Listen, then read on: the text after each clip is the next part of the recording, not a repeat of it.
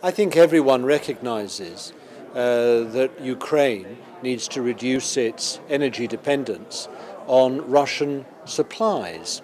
Uh, Ukraine also needs to reform its energy markets and it has to deal with issues, for example, to do with uh, corruption.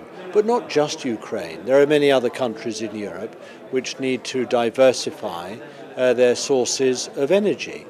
Uh, and they need uh, new supply routes, they need new pipelines, uh, they need uh, new connections in order to achieve that diversification. And obviously, the current crisis uh, raises uh, the need for speedier diversification more than ever. It's not going to come overnight, it's going to come over years and indeed decades. But the time to start moving is obviously now.